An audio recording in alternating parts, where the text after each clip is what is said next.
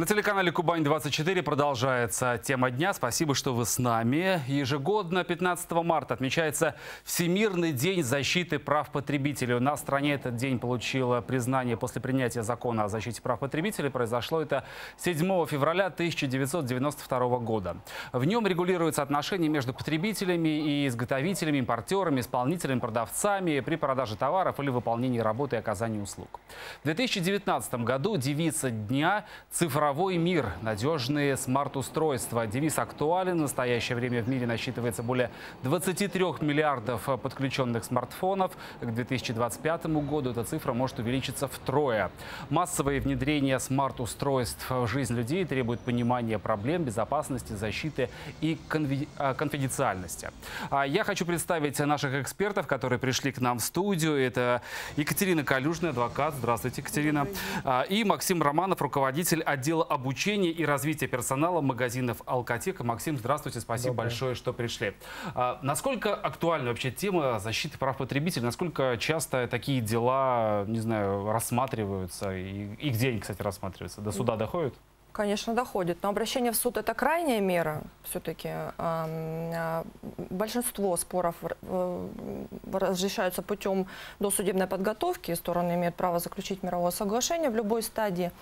А, конечно, потребители имеют право обратиться не только в суд как крайнюю меру, но и в Роспотребнадзор, особенно если касается продуктов питания некачественных. А, потребители могут обратиться даже и в правоохранительные органы, когда речь идет о чистом мошенничестве. Безусловно, а, мы встречаемся каждый день с недобросовестными продавцами, поставщиками услуг.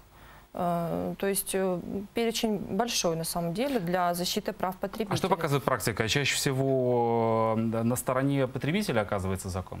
Конечно, безусловно. Потому что а, поставщики и продавцы а, не всегда соблюдают требования законодательства. Они чаще их не соблюдают, чтобы получить большую выгоду.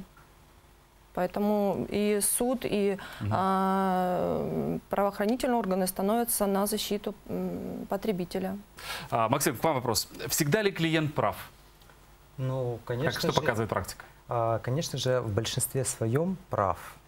От этого мы никуда не уйдем.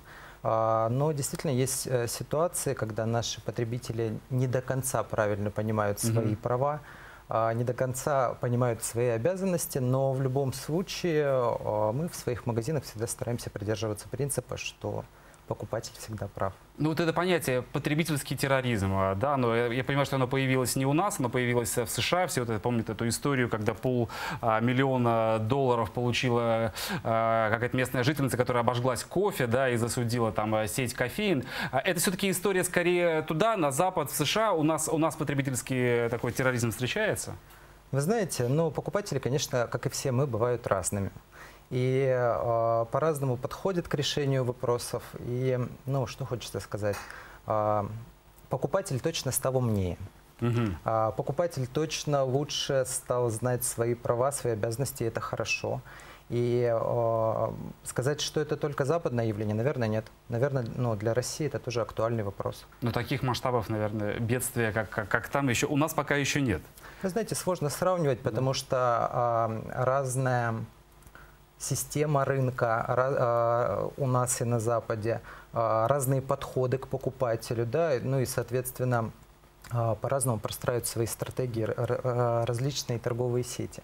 Поэтому ну, нельзя сказать однозначно. Скажем так, Россия всегда была несколько обособлена и по-разному подходила к ситуации, поэтому ну, Скорее на, на, нам нужно выстраивать свою систему. Екатерина, вы согласны с Максимом, что покупатель стал э, образованнее, умнее?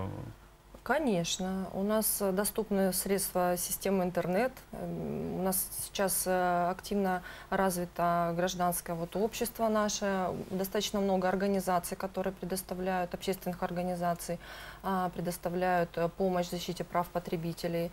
А, администрация может предоставить. То есть люди с каждым днем получают все больше и больше информации и, безусловно, становятся грамотнее.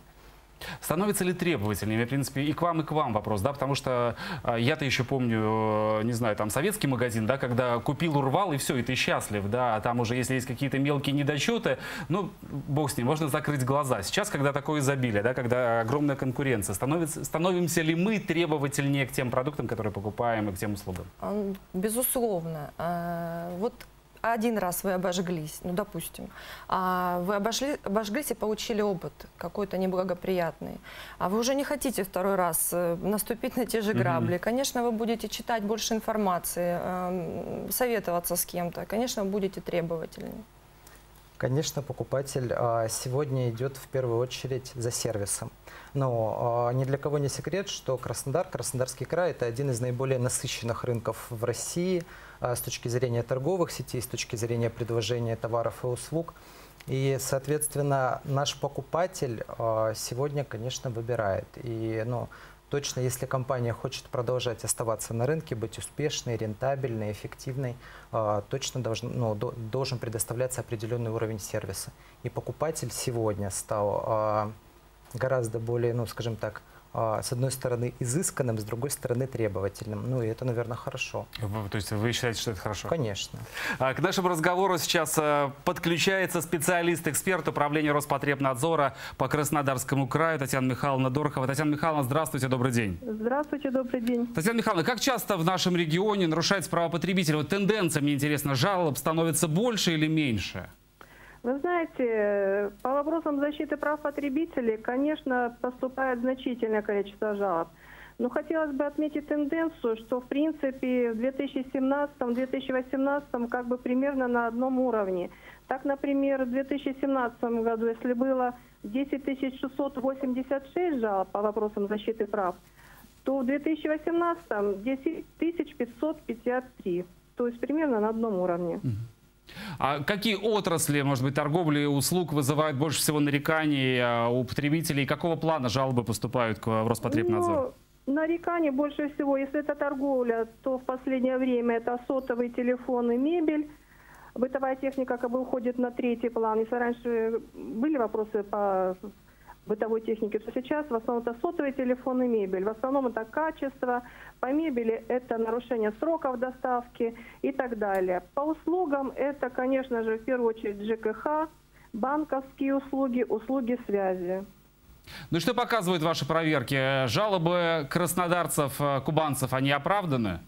Вы знаете, жалобы зачастую подтверждаются, но хотелось бы отметить, что э, жители сами должны быть как бы внимательны при выборе товаров и услуг.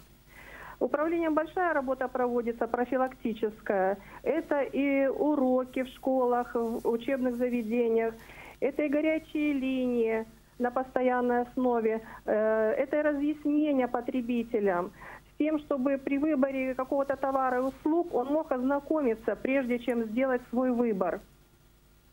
Ну и мне интересно тоже ваше мнение, становятся ли жители нашего края более грамотными в выборе товаров и услуг? Да, видимо, профилактическая работа, которая проводится и муниципальными образованиями, поскольку в каждом муниципальном образовании есть специалисты, занимающиеся вопросами защиты прав, и общественное выведение по защите прав, э, работу которых координирует управление Роспотребнадзора.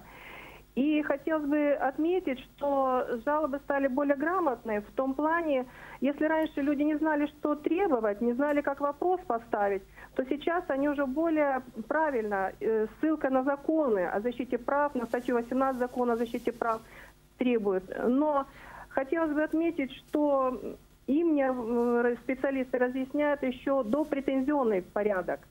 То есть, э, заявляя о том, что они хотят, э, допустим, наказать тот или иной хозяйствующий субъект или принятие к ним мер, э, закон 294 федеральный предусматривает досудебный претензионный порядок хозяйствующему субъекту. То есть, если человек обратится в досудебном порядке с медицинской претензией, то, возможно, данный хозяйствующий субъект и решит его проблему.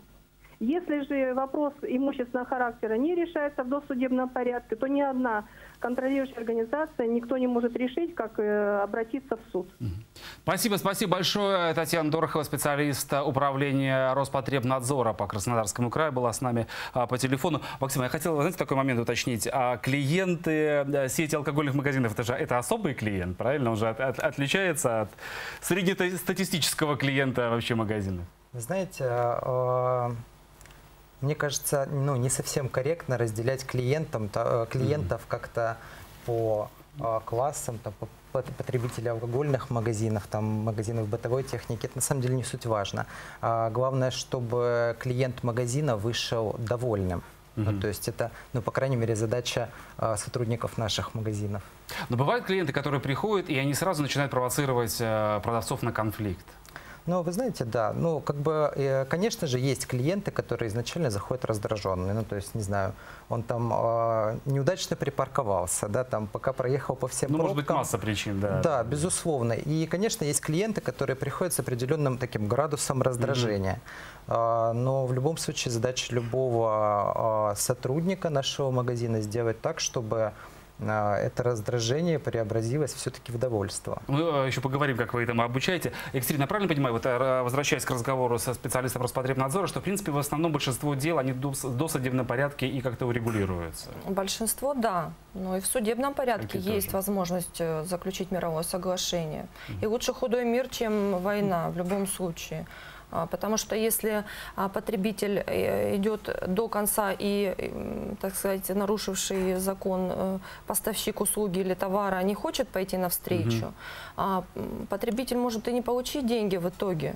Понимаете? То есть лучше заключить мировое соглашение и остаться с чем-то удовлетворенным, ну, скажем так, с денежными средствами какими-то или компенсацией, чем а, иметь возможность э, быть с исполнительным листом, но, к А сожалению... бывают прям затяжные такие войны? А, бывают, конечно. да. Несколько лет, да, которые Да. длятся? Ну, лет не знаю, ну, три-шесть А, месяцев, да. Мне хочется, чтобы вы дали, не знаю, какие-то такие золотые советы, да, вот э, лю- людям, которые идут в магазин или обращаются за приобретением товаров. Ну, не знаю, элементарно, всегда, всегда забирать чек. Я вот просто грешу иногда, не забираю чек, а потом сталкиваюсь э, с тем, что хотелось бы вернуть, а чек уже, допустим. Вот, видите, а я стараюсь чек всегда сохранить. А мы с вами по привычке идем в магазин и чеки можем не взять. Да. А, безусловно, нужно требовать чеки, а, особенно на непродовольственные товары. Ну как же так, без чека остаться? Как потом доказать? А если вы идете в салон красоты, вот большинство женщин просто привыкли ходить в салоны красоты и не получать никакой квитанции. А так нельзя. А как потом доказать, что, допустим, а, покраска произошла некачественными товарами, ну, не дай бог, там волосы Мгм. выпали или еще что-то. Ну или какая-то иная услуга. У нас э, люди э, беспечны в этом часто. И, конечно, безусловно, нужно сохранять документы всевозможные, а, спрашивать о сертификатах, тем более, если первый раз сталкиваетесь. Это ж э, неудобно, ж, понимаете, все как это вот э, А, прийти, ну, что покажите, значит? покажите ваши сертификаты, сразу понимаешь, что к тебе отношение уже будет не то, ты уже не такой любимый клиент. Ну быть. что значит неудобно? У добросовестных э, поставщиков услуг и производителей есть специальный уголок, Максим, на котором извините, есть эти при- приходят сертификаты. клиенты, покажите, пожалуйста, ваши сертификаты, ваши Конечно. лицензии. Бывает, да? такие Конечно, конечно, Конечно. бывает. А, Это к вопросу о том, что а, клиент всегда хочет быть уверен в своем, ну, в качестве, а, которое ему предоставляется. Он хочет понимать, за что он платит свои деньги. Поэтому, конечно, такие клиенты есть. Если вдруг э, я остался недоволен э, той или иной покупкой и э, пришел в магазин вернуть, и мне сказали нет, мы, мы не будем возвращать вам. Я понимаю, что мои права нарушаются. Как, как, как, мне, как мне дальше поступить? Что делать? Я советую сразу фиксировать данные события, обратиться тут же с заявлением о возмещении, об описании ситуации, во-первых, возможно, продавец. Обратиться куда? А тут же, в этом же месте, вот когда вы, приобр- ну, допустим, вернули, возвращаете, ну, к примеру, обувь. Да.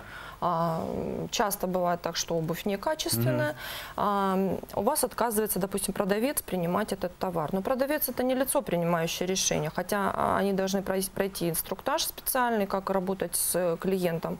Безусловно, то, о чем говорил мой а сейчас э, сосед, Коллега, да, да. коллега, да.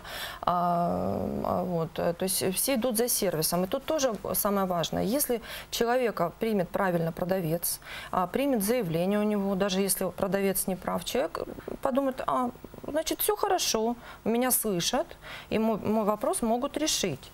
Если его вопрос будет удовлетворен, он, безусловно, останется клиентом этой организации, также будет за- дальше совершать покупки. А, Но, к сожалению, если продавец ему отказал, а в дальнейшем еще организация откажет, то, конечно, человеку ничего не остается, как э, пойти в суд. Безусловно, здесь еще вопрос экспертизы очень важен, а, поскольку по закону о защите прав потребителя экспертизу должен сделать продавец. Но не всегда продавец хочет тратить деньги на это. Подождите, бывают случаи, когда э, э, экспертизу оплачивает э, покупатель, и Да. потом, если подтверждается, что товар да, да, был некачественный, тогда ему возмещаются эти деньги. Конечно, уже. обязательно. Да, да. А если, если это рынок, здесь регулируется тоже как-то отношения? Здесь же и чека нет, э, и э, так э, не, не особо Ну, претензий. не если вы покупаете продукты питания, то допустимо. А Мгм. если это товары бытового назначения, ну какие-то непродовольственные Да. товары, то все равно требуете чек. Мгм. А, Максим, вот такой вопрос. У вас должность руководителя отдела обучения и развития. Чему обучают и как развивают э, сейчас э, продавцов-консультантов? Ну, собственно, а, ключевые блоки обучения, которые мы на сегодняшний день ведем, это, конечно, обучение ассортименту, то есть а, знание, что это за продукция, А вот как направление работы с лучше клиентом? использовать. А, Это следующее направление работы. И, собственно, это как раз-таки направление работы с клиентом. Это стандарты взаимодействия, это как раз-таки вопросы защиты прав потребителей, то есть то самое предоставление чеков, это предоставление, ну, то есть как правильно и в каком формате, конечно же, предоставлять там те самые а, документы, которые требуют зачастую наши покупатели, чтобы удостовериться в качестве продукции. Если говорить про форматы обучения, то, конечно же, изначально любой, ну, то есть у нас не приступает сотрудник а, к исполнению обязанностей, если он не, не прошел вводного инструктажа, то есть это изучение теории, это работа под э, курацией наставника и в дальнейшем, собственно, непосредственно самостоятельная работа под контролем администратора. Э, На улице Красной в одной кофейне мне понравилось одно объявление. Если вам не дали чек, кофе за счет заведения. Мне кажется, отличная практика. Спасибо, спасибо огромное, что пришли. На студии была Екатерина Калюжная, адвокат, и Максим Романов, руководитель отдела обучения и развития персонала магазинов «Алкотека».